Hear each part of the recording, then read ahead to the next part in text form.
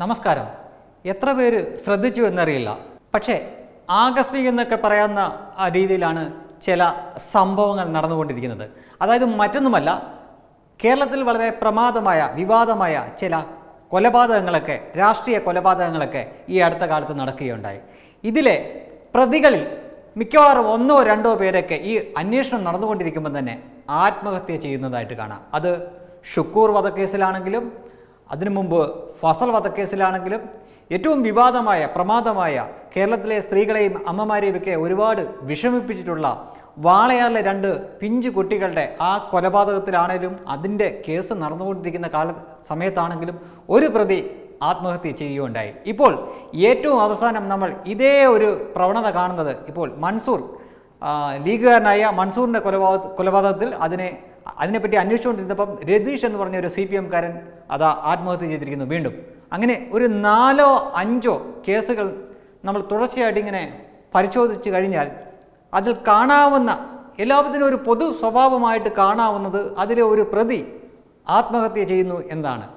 ഇവിടെയാണ് ഒരു സംശയം എല്ലാവർക്കും തോന്നുന്നത് തോന്നേണ്ടത്. കാര്യം എന്തിനാണ്? അതായത് ഒരു മനുഷ്യനെ കൊല്ലാൻ അറപ്പോ അല്ലെങ്കിൽ മടിയോ ചോര കണ്ടാൽ പേടിയോ ഇല്ലാത്തവരാണ് ഈ നിഷ്ഠൂരമായ കൊലപാതകത്തിന് മുന്നിട്ടിറങ്ങുന്നവർ അവർക്ക് അവരുടെ മനുഷ്യന്റെ രക്തം മുഖത്തോട്ട് തെറിച്ച് വീണാൽ പോലും അതങ്ങ് വടിച്ചു കളഞ്ഞിട്ട് ഇങ്ങനെ കൊലവെറിയോടെ നിൽക്കുന്ന അത്രയും കഠിന ഹൃദയരായിട്ടുള്ളവരാണ് ഈ പ്രതികൾ.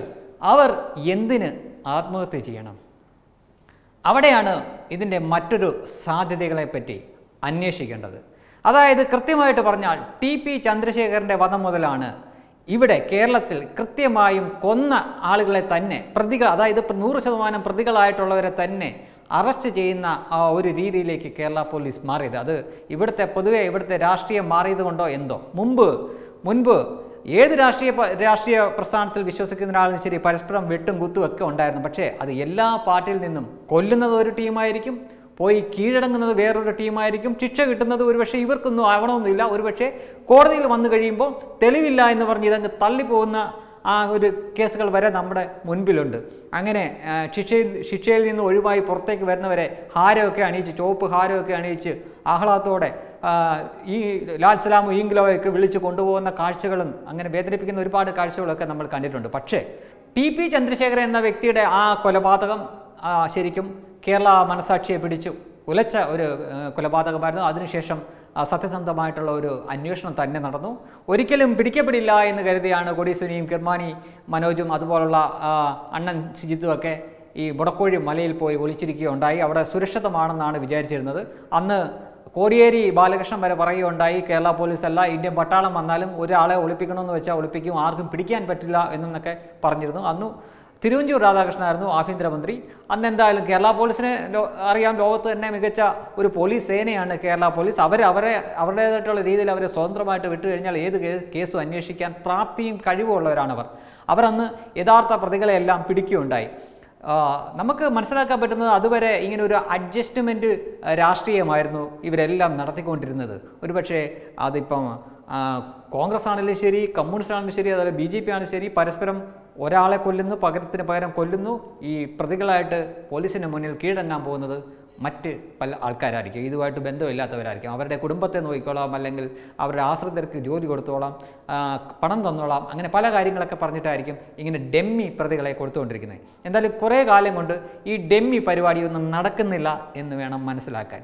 അങ്ങനെ വരുമ്പോൾ യഥാർത്ഥ പ്രതികളെ പോലീസ് സത്യസന്ധമായിട്ടുള്ള അന്വേഷണം നടത്തി യഥാർത്ഥ പ്രതികളെ അറസ്റ്റ് ചെയ്തേണ്ടി വന്നാൽ അവിടെയാണ് ആ പോയിന്റ് യഥാർത്ഥ യഥാർത്ഥ പ്രതികളെ അറസ്റ്റ് ചെയ്യുമ്പോൾ ചോദ്യം ചെയ്യലിനിടയിൽ ഇത് ആസൂത്രണം ചെയ്ത നേതാവിന്റെ പേര് ഇവരുടെ വായിൽ നിന്ന് വീഴാൻ സാധ്യത കൂടുതലാണ്.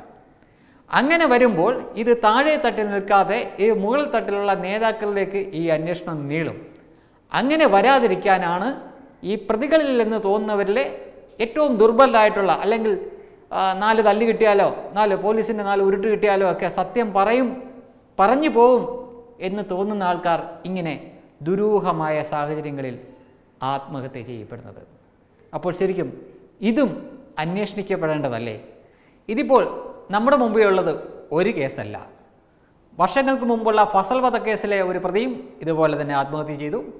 ഷുക്കൂർ വധക്കേസിലെ പ്രതിയും ഇതേപോലെ തന്നെ ആത്മഹത്യ ചെയ്തു. പ്രമാദമായ വാളയാർ കൊലക്കേസിലെ പ്രതിയും ഇതേപോലെ തന്നെ ആത്മഹത്യ ചെയ്തു. ഇതിപ്പോൾ ഇതിപ്പോൾ ഏറ്റവും തൊട്ടടുത്ത ദിവസങ്ങളിൽ നടന്ന മൺസൂർ എന്ന ലീഗുകാരന്റെ ആ കൊലപാതകത്തിലെ ഒരു പ്രതിയും രതീഷ് എന്ന് പറഞ്ഞ ഒരു സി പി എംകാരനും ഇപ്പോൾ ആത്മഹത്യ ചെയ്തിരിക്കുകയാണ്. യഥാർത്ഥത്തിൽ ഇത് ആത്മഹത്യയാണോ അതോ കൊന്ന് കെട്ടിത്തൂക്കിയതാണോ? സത്യത്തിൽ ഇതിലേക്കും കൂടി ഈ അന്വേഷണം നീളണ്ടേ?